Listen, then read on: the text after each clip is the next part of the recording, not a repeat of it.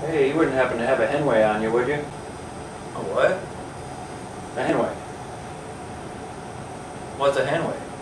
Oh, about three pounds.